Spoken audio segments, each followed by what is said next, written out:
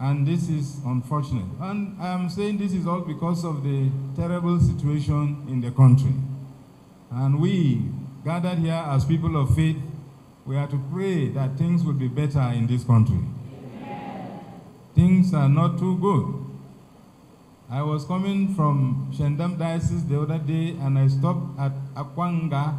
I wanted to buy a few, you know, bananas. So the, there was a bunch of bananas. I asked my driver to find out the price so that I could pay.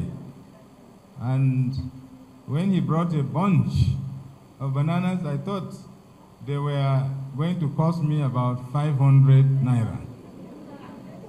So when I asked how much was the banana, they said it is 1,600 naira.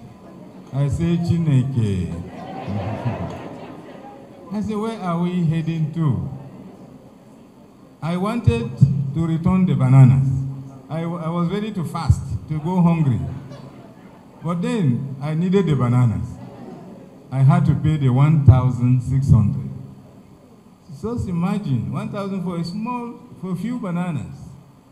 And I was just imagining how the people who earn very little, maybe they earn 200 naira a day, they sell kunu, they sell, you know, little, little things by the roadside. Can, can they even eat bananas today? I see that even in the villages, things are not too good. My friend called me from the village and said, do you know that the cost of rice, one measure of rice is over 2,000 naira. I could not understand. And I said, where are we heading to? The political authorities must do something positive and promptly too. This is an emergency.